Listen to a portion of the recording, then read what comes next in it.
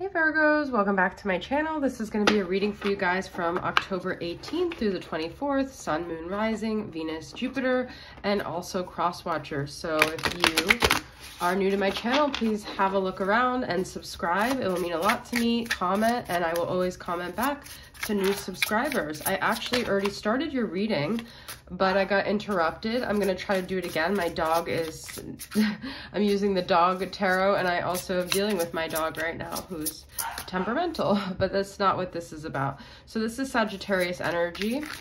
This is something about needing to get balanced here, okay? This is also about uh, healing and transcending to a new level here. So you guys could have gone through like a huge uh, metamorphosis here. Ooh, look at this.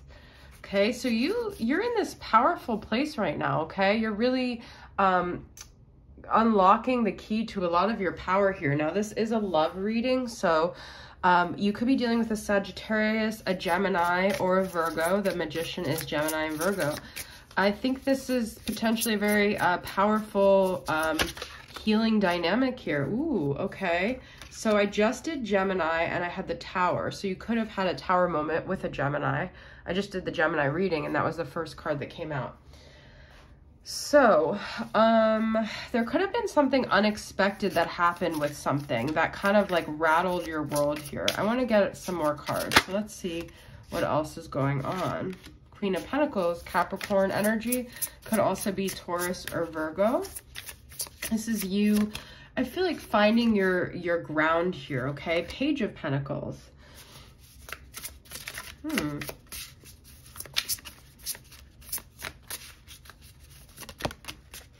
And then we've got King of Cups reversed. What I just got from this is that this is Scorpio energy.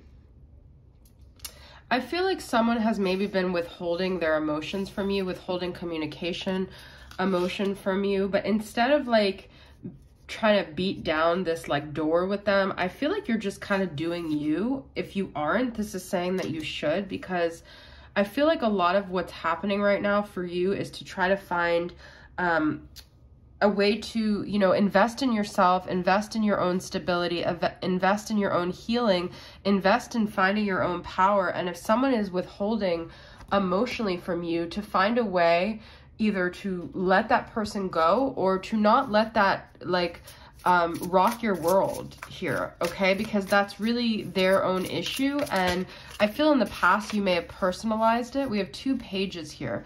There could be some, like, um, immaturity here, but I also feel, and then we have, um, yeah, so the Seven of Wands. So yeah, like I said, this is their issue, um, which in the past I feel you may have taken it on. There could have been some elements of codependency where someone around you had an issue and you took it on as your fault. But I feel like this is saying, um, this is also Sagittarius, Leo, and Aries energy, and Capricorn, Taurus, and Virgo. So those are common signs that we're getting here, but we also have Scorpio.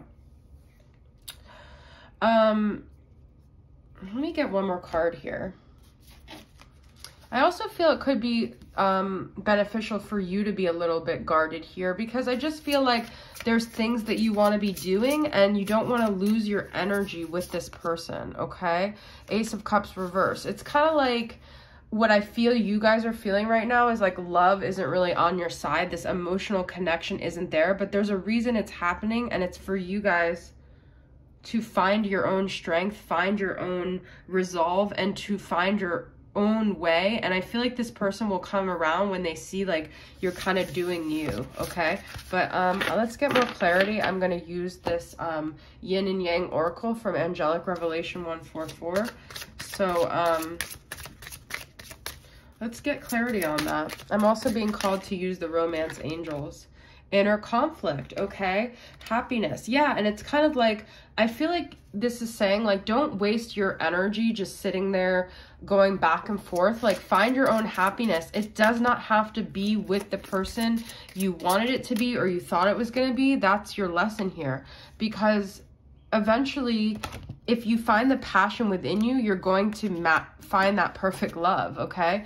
Look so the deep emotions is interesting because the king of cups has deep emotions so i feel like and that's what you had reversed. I feel like that's why you guys are frustrated because you know this person has deep feelings for you. You know this has the potential to be the perfect love, but this person's got their own inner conflicts, and that is not your issue. And pushing them to get to a clarity is not going to help you or them or the connection. So I feel like there's a lesson here of letting go of control. So that might be a card that comes up here in the Romance Angels and we have past life relationship. You have known each other before. That could be it too. So you guys have some karmic uh, past life stuff here. And that could also be part of their inner conflict. You deserve love. Look at that. You are lovable. Okay. You deserve what you're seeking. You deserve to not have to force someone to come through in the way you want them to come through. Okay.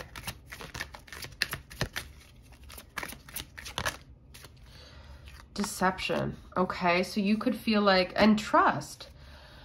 I feel in a way you guys were actually deceiving yourselves, and this is about you building trust with yourself because I feel like there were red flags, but you told yourself, no, it's okay. And it's because you do have a past life love, and you do feel like this person could love you in a way where it's like they know your soul, they know you very well, but I just feel like they're not in that place right now. And um, so you're kind of like confused because it's kind of like you feel like you met this person because you guys were supposed to get it right and then like they're not really stepping up to the plate. I feel like they're very internally conflicted, okay? Let's get into what their issues are. Now this is a very shadowy deck, so um, you know, it could be some harsh stuff, but we'll take it as it resonates. This is from Carrie from Celestial Forecast. This is Shadows and Secrets. So what are their shadows? What are their secrets? I definitely feel like they're just struggling with, um, I just heard insecurities, okay, abandonment, the pixie, a hoarder, untidy, excessively, oh, Virgos do not like that, okay? I almost feel like their messiness is like it's almost like insulting to you like because they know you're a virgo they know that you care about that stuff and they it's almost like a reflection of them like disrespecting you okay and we have blurred lines sending you mixed signals unclear about their intentions and the relationship in and out of your life ambiguous boundaries you can't pinpoint this person and that is what i feel is bringing up this sense of like lack of control for you because um it's very blurry. Like that's what I'm getting, this like conflict, like um I want to use this deck, but I don't have it handy, so I gotta grab it. I think it's very confusing for you because on one le level you know that they have deep emotions for you, but their behavior sends you mixed signals and you just can't seem to pinpoint what the deal is here. Okay, so, um, but I feel a lot of it is about refocusing your energy to yourself. That's why that keeps coming up in the reading. Okay, I'm going to go into the soul activation shadows and get more clarity on these shadows. So these actually aren't the worst shadows in that other deck. They're not like, I don't feel like they're lying to you. You do have deception, but I feel like that's more you guys deceived yourself by thinking this would be an easy, seamless dynamic when there's a lot of layers to it and this person has got a lot of issues and there was a lot of like areas where I just feel like you knew you weren't going to be compatible. Oh my God, you guys, did I not say this? There's insecurity here. I also feel their insecurity, you're starting to feel it, and it's like you guys mirror it because they bring out things that make you feel insecure, and it's their insecurities that's bringing it out. And this is a solar plexus issue. Wow. And this is messiness too. I kind of get the messy energy there. So, hmm. Interesting. Self-limiting. They have like they're kind of in like sometimes like a negative Nancy. I feel like this person they like they talk themselves out of things. They they think of things in a negative way. They don't go after what they want. And that's the other thing, guys, cuz that's the energy I was starting off with you. I feel like you guys are supposed to be paving the way to show them like with your own initiative, like when they see that, they're going to be inspired. You guys are like mirrors here. Okay, so let's get from my twin flame poetic confessions. What do they want to say to you here, Virgos? Nostalgia. Take me back to that very first night. This time I promised to do everything right.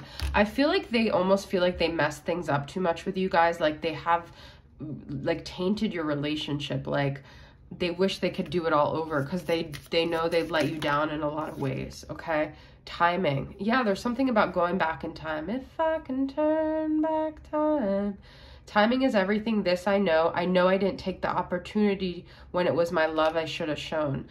Uh, you know it's weird. I get this feeling with this dynamic. It's not that i don't even get 100% you're in separation from this person. You could be but i feel it's more so you guys have been together physically but emotionally and mentally they've just been checked out. But it just could also be that this person isn't in your life and they've just been holding back. I feel like they've kind of made you feel there is a connection, but they just haven't given enough to this dynamic, okay?